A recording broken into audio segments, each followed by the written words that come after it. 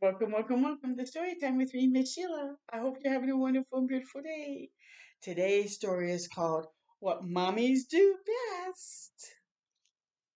So let's get into it. Mummies can teach you how to ride a bike. Look at she's riding hers and the little one's riding theirs.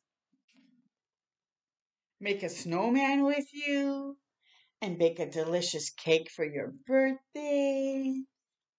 Mummies can help you make a garden grow and give you a piggyback ride and take care of you when you're sick. Oh, mummies can watch the sunset with you. That's lovely. Sew the loose button on your teddy bear and hold you when you're feeling sad. Mummies can take you out trick or treating, help you give the dog a bath, and play with you in the park. Mummies can read you a bedtime story, tuck you in, and kiss you goodnight. Best of all, mummies can give you lots and lots of love. And now guess what? We flip the book over because it's a new book, and it's called What Daddies Do Best.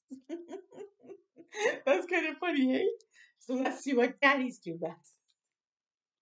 Daddies can teach you how to ride a bicycle. Yep.